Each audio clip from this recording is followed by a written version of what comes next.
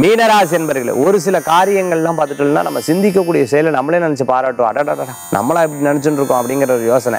அந்த மாதிரி இன்றைய தினத்தில் நீங்கள் யோசிக்கிறது செயல்படுறது எல்லாமே ரொம்ப டிஃப்ரெண்ட்டாக இருக்கக்கூடியதாக இருக்கும். நீங்கள் ரொம்ப நாள் நினச்சிட்டு இருந்த காரியங்கள் உங்களுக்கு சக்ஸஸ் ஆகக்கூடிய சூழ்நிலைகளை ஏற்படுத்தி கொடுக்கும். சில நேரம் உடல் உபாதைகள் உடல் ஆரோக்கியத்தில் கவனம் என்பது தேவை.